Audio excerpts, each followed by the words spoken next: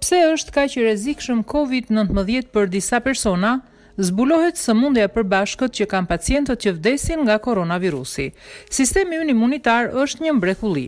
Përditë, ai është në veprim dhe ne as që e vëmë re. Ai është përgjegjës për mbrojtjen e trupit tonë nga të paftuar të rrezikshëm, si për shembull viruset.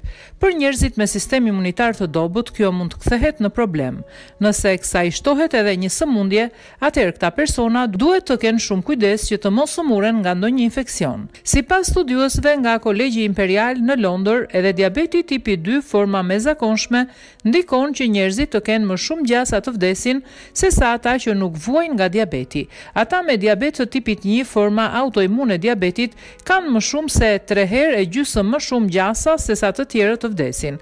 Në total, studiuesit zbuluan se një e treta e të gjitha vdekjeve nga Covid nëntëmbëdhjetë kanë një të përbashkët diabetin. Disa persona me sëmundje kardiovaskulare ose diabet, apo diabet, të cilët rrjedhimisht kanë përqindje të lartë të kolesterolit janë më të predispozuar për t'u prekur nga koronavirus. Covid arrin të ngjitet në molekulat e kolesterolit teksa ndodhet së bashku me receptorët e qelizave të quajtur SRB një dhe në këtë mënyrë sjell rëndimin e gjendjes shëndetësore.